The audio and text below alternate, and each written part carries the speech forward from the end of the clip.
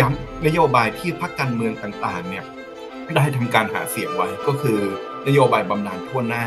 ซึ่งทุกคนพูดกันจริงจังมาก จริงจังว่าเรื่องนี้เป็นเรื่องสำคัญ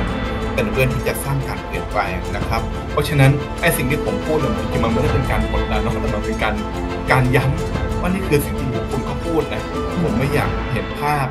ประมาณว่ารัฐบาลที่ประชาชนมีความหวังมาก แต่ว่าสุดท้ายแล้วเรื่องที่ดูเหมือนสำคัญกับประชาชนถูกพับเก็บ สิ่งหนึ่งที่ผมนำเสนอในเป็นบทความชื่อก้าวต่อไปของการสร้างรัฐรัฐสวัสดิการหลังการเลือกตั้งนะครับ ซึ่งมันก็คือการย้ำภาพรัฐบาลที่ประชาชนมีความหวังมาก แต่ว่าสุดท้ายแล้วเรื่องที่ดูเหมือนสำคัญกับประชาชน ถูกพับเก็บ เพื่อที่ว่าจะได้สามารถไปคุยเรื่องอื่น ที่ฟังดูง่าย ไม่มีใครเสียประโยชน์กัน เช่น เรื่องเขตเศรษฐกิจพิเศษ เรื่องการลดภาษีกระตุ้นการลงทุนหรือนำเข้าส่งออกโคต้าอะไรต่างๆ ผมไม่อยากให้เรื่องพวกนี้มันกลายเป็น priority หลัก แต่มันมีเรื่องที่ผมอยากย้ำเช่น เรื่องที่แทบทุกพักเนาะได้ได้ทำการคิดไว้ก็คือนโยบายบำนาญทั่วหน้า ซึ่งพักที่หาเสียงเรื่องนี้ก็จะมีพักของคุณสุดารัตน์พักก้าวไกลแล้วก็พักประชาชาติ ที่มีการพูดพูดเรื่องนี้นะครับ เพื่อไทยอาจจะไม่ได้พูดเรื่องนี้แบบตรงไปตรงมา แต่ว่าแน่นอนที่สุดพักก้าวไกลซึ่งเป็นพักรัฐบาลเสียงข้างมากแล้วพักประชาชาติซึ่งเป็นพักใหญ่อันดับสามก็มีการพูดเรื่องนี้ เพราะฉะนั้นเรื่องนี้ผมว่าเป็นเรื่องที่สำคัญในการที่เราจำเป็นต้องผลักดันให้เกิดรูปธรรมของระบบบำนาญทั่วหน้าให้มันเกิดขึ้นนะครับ ซึ่งแน่นอนมันอาจจะใช้งบประมาณถึง 12%ของงบประมาณรายจ่ายประจำปี แต่ว่า ผมต้องบอกว่าไอแนวคิดเสรีนิยมใหม่ที่มันถูกผูกขาดในกระบวนการกำหนดงบประมาณของเรามามาอย่างยาวนานเนี่ย มันทำให้เราไร้จินตนาการนะเพราะเราใช้การกดเครื่องคิดเลขในการบอกว่าอะไรทำได้อะไรทำไม่ได้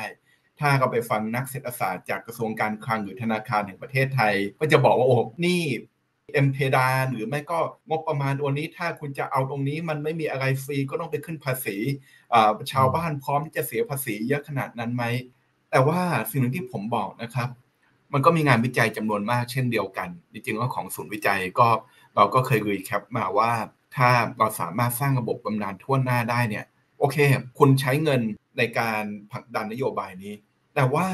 สิ่งหนึ่งที่มันได้กลับคืนมาเนี่ยที่มันคำนวณเป็นตัวเลขยังไม่ได้นะครับ ซึ่งมันไม่ได้หมายความว่ามันมันทำไม่ได้นะ มันแค่ยังไม่ได้เฉยๆเช่น ถ้าคนแก่ปลอดภัย คนวัยหนุ่มสาวก็ปลอดภัย คนวัยหนุ่มสาวถ้าไม่ต้องกังวลเรื่องรายได้ของพ่อแม่ เขาอาจจะสามารถเปลี่ยนงาน สามารถกลายเป็นผู้ประกอบการ หรือว่าเขาอาจจะสามารถเอาเงินที่เขาต้องส่งให้พ่อแม่ มาส่งให้ลูกเรียนสูงขึ้น หรือโภชนาการของลูกดีขึ้นทำให้เด็กรุ่นใหม่มันดีขึ้น ถามว่าผมมีตัวเลขมาใส่ในตาราง Excel ให้รัฐมนตรีกระทรวงการคลังไหมไม่มีไม่มีประเทศไหนมี ต่อให้เป็นฟินแลนด์สวีเดนที่มีระบบจัดการข้อมูลที่ดี มีงานวิจัยที่เข้มแข็งก็ไม่มี แต่มันคือการยืนยันตามฉันทามติไปว่าสิ่งเหล่านี้มันสำคัญไหม ถ้าสิ่งเหล่านี้สำคัญมันก็เกิดขึ้นได้แล้วเรื่องนี้เป็นเรื่องที่เราได้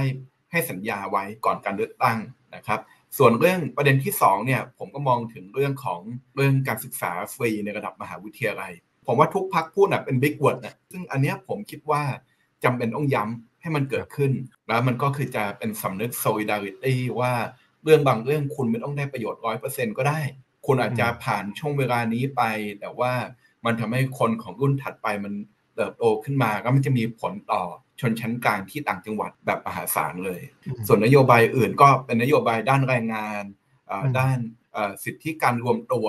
อะไรต่างๆ แล้วก็ประเด็นสุดท้ายนะครับ สิ่งหนึ่งที่ผมย้ำก็คือ ต้องป้องกันดีลใต้โต๊ะ ต้องพยายามให้ทุกอย่างมันเปิดเผยมากที่สุด เพราะเมื่อใดก็แล้วแต่ที่เป็นเรื่องดีลใต้โต๊ะ มันจะทำให้นโยบายที่ก้าวหน้าต่างๆ ในประเด็นด้านรัฐสวัสดิการ ค่าแรงสวัสดิการประชาชน จะถูกปัดไปอยู่ข้างหลัง เอาไปต่อคิวที่หลังทั้งๆทที่เป็นนโยบายที่สำคัญ เพราะฉะนั้นผมว่าเป็นเรื่องสำคัญที่